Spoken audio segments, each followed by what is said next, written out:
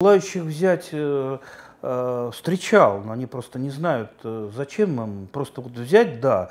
Ясно, что эта идея гиперпопулистская, что более популистских идей я не встречал, она абсолютно нереализуема. Все земли, на которых можно что-то сделать у нас, можно как-то их использовать, они имеют частных хозяев.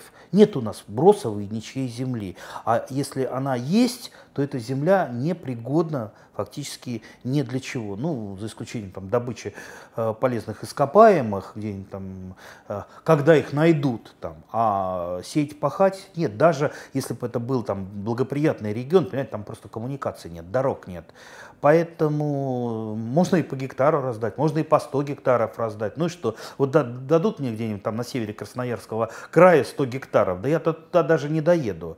А если я доеду, сколько я денег потрачу? А сколько мне бы денег надо было на освоение? Даже в Подмосковье какого-нибудь глухой, глухого уголочка, туда, где дороги нет. Огромнейшие деньги. Государство же не хочет мне помочь, оно готово только землю дать, а дальше вы сами.